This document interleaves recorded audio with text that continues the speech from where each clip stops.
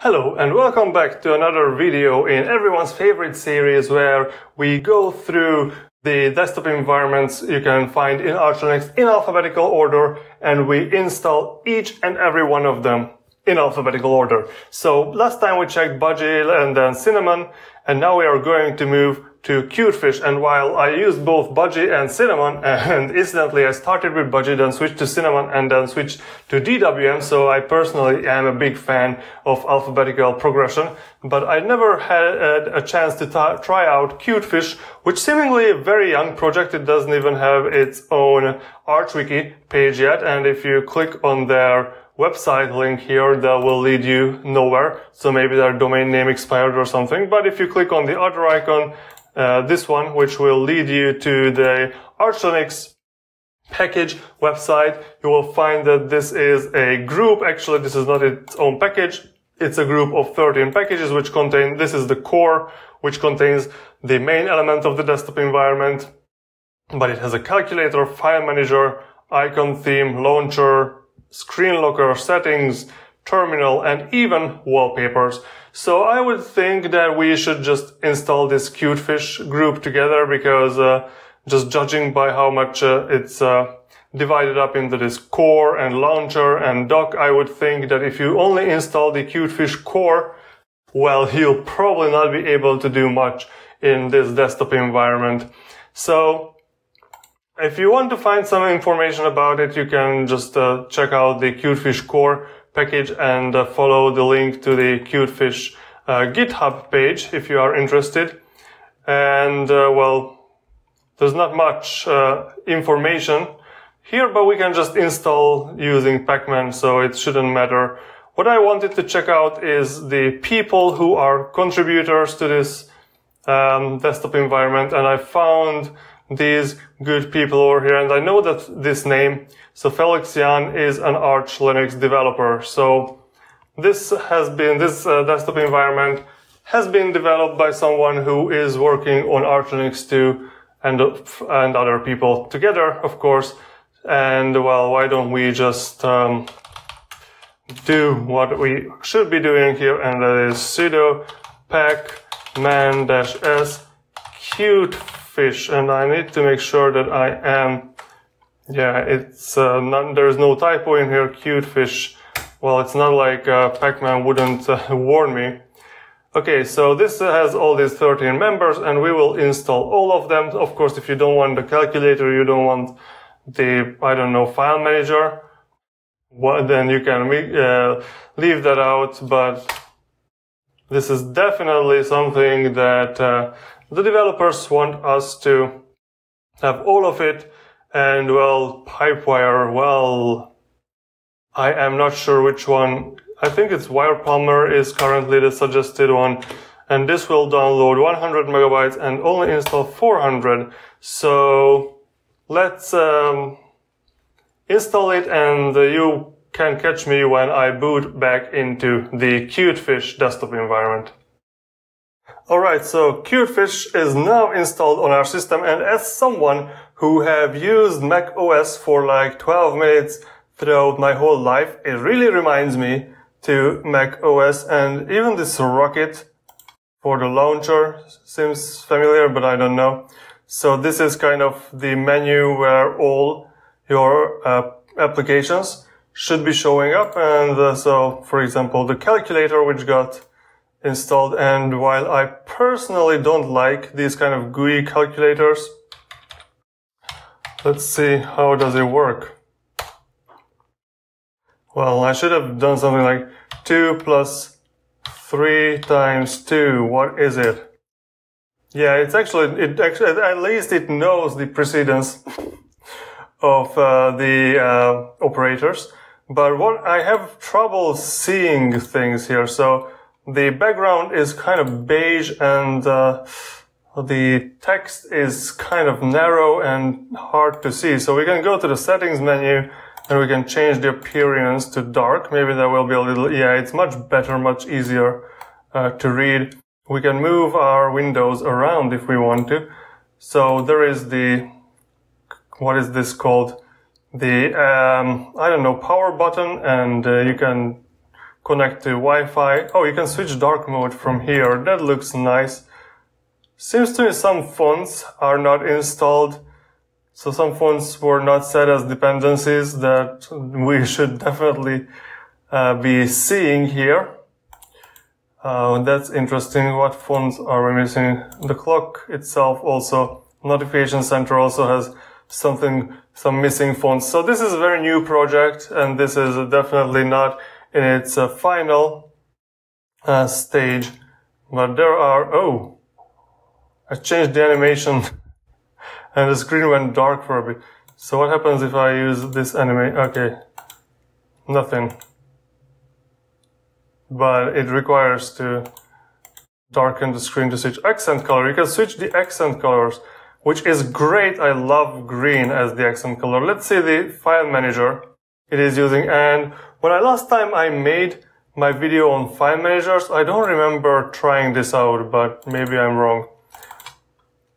Alright, so this is a simple but good looking file manager and I can, I really appreciate that I just click here and I could get in to the whatever um, directories I wanted to. I can just, yeah, I click here, I can type the path, that's what I wanted to say. If I just click on the icon, then, uh, or, or rather the name, I guess I can go to ST here, but then go back I prefer uh, the Nemo desk or what desktop, the Nemo file manager, where if I go back, I can still see the last directories I was in. So it's going back and forth is easy, but whatever, it is not a review of the file manager.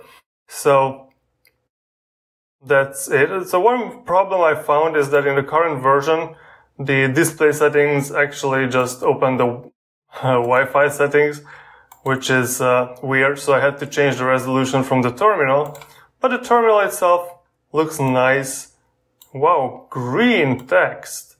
Is this change with the accent color? No, it just it's just green. I didn't re really realize it was green when I uh, used it to do X, R, and R. So what else? Do we have NeoFetch installed? I think I did not install NeoFetch. Yeah, Oh, and definitely some font issues. So we need uh, fonts here. We can have our user set up from here. So this is kind of uh, your regular, I guess, um, settings panel that we have here. Some interesting, oh, fonts. Here we have fonts here. So general font hinting anti-aliasing, font size, free mono, switch to source code pro, I don't know, free serif, does it make any difference? No. So for some reason, some characters are missing, so we, yeah, we'll definitely need different fonts than what we have on a default Linux system for everything to work, but I am not going to figure that out right now. So appearance, you already checked that. Backgrounds, there are a few default backgrounds here, or we could just uh, use solid colors if that's your uh, thing. But I think these pictures, they look, they look fine. Let's go with this blue one. And one thing that I read about is, oh yes, that the menus. Okay, so the application menus appear on the top bar. So this is kind of like I don't know, something I've seen in Mac OS. Oh, I can choose to view things as lists just on this one button over here. So, yeah, settings panel does not have separate menu. Does the terminal have a separate menu? No. What happens if I press the super key, the Windows key? Nothing happens. Alright, so one more thing we should check out is the dock. So we can have a full dock and then you don't see now but the trash can run to the right hand side and we, or we can just have a left dock or and we can always move this to center. So it seems like, yeah, if it's in always show mode, let's make smart hide and then it will appear like this. So these are all the options we can have. We can You cannot even put it on the top of your screen because the top of your screen has this menu bar that you don't seem to be able to change. You can change the size though. Large, huge, medium, small, depending on your preference, I guess. And uh, always hide. Yeah, always hide will always hide and smart hide will only hide if I have an app in full screen, I guess. So, I don't know if this is going to be the end of it. This is a much shorter review than the other ones because it is definitely a work in progress. Looks nice. I like the design a lot. I don't like that it's the customizations are not really, it's not really customizable. I mean, do we have, do we even have a, a chance to use multiple virtual desktops here? I don't see any settings for that, incidentally, which is, uh, even the wallpaper in dark theme. That's an interesting option. System effects on, oh, yeah, just turn them on, don't turn them off. Alright, so this aesthetically pleasing, which is I guess the goal here, and um, oh, these are some ugly mouse cursors. Uh, anyways, I guess uh, we have power saving and performance modes and things like that. Lock screen. How does the lock screen look like? Let's lock the screen. How do I lock the screen? Can I just lock the screen with uh, Windows L? No. Well, I don't see any. Do I press this button? Oh, that is very pretty. Lock screen.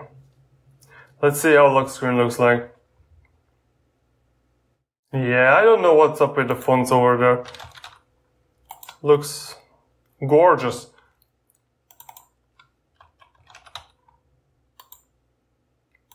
Why does it... I don't think yeah, why does it unlocking fails if even if I type in the correct password? Alright. That is interesting. And I guess that's the end of the video then.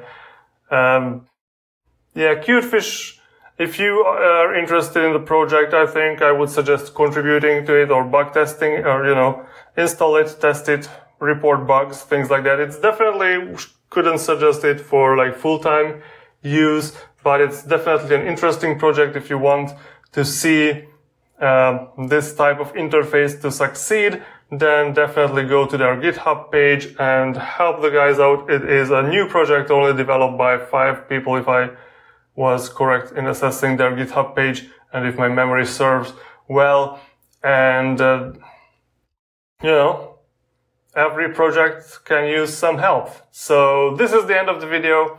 Thank you for watching. And the next one will be, I don't remember which one, maybe uh, Deepin is the next in the in our um, alphabetical order. But whatever comes after Cutefish in the ArchWiki is going to be the next desktop environment we're going to take a look at. And I will see you in the next video. Bye bye.